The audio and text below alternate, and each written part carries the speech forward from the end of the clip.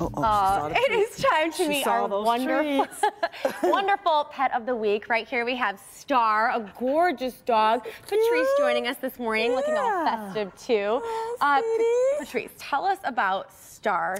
What kind of mix? Very unique. Designer dog. She is a husky poodle Yeah, and mix. she's she has such a great personality. Here, Star. Right. Sit. She even knows a few treats.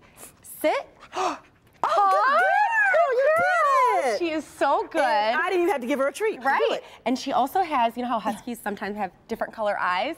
If you take a close look at her, she does have that too. So she is just so sweet. She's a Oh, year and a half. What kind of family is she looking for? Any kind of family would be fine. We said no small kids because she might knock them over. Okay, she's a We're little not sure how she is with cats, but she's fine with any. She loves people Well, I just love and her treats. mix. She Yeah. loves treats. I know, and call quick because Rhonda might actually hop on that one. Rhonda loves this dog.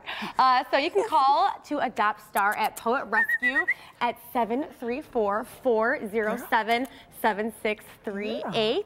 She's gonna make a great Yes, dog. Oh, look at her. Oh, also, let's take a look at an adoption update, one of our recent pets of the week. Remember Chad? Well, Chad was adopted by the Hoffricher family, who now call him Hunter. What a great photo there. He looks like he's already loving the family. Right. All right, thank you so much for joining us, mm-hmm. Patrice. Yep. And thank you, Star. You're going to get a great mm-hmm. family soon.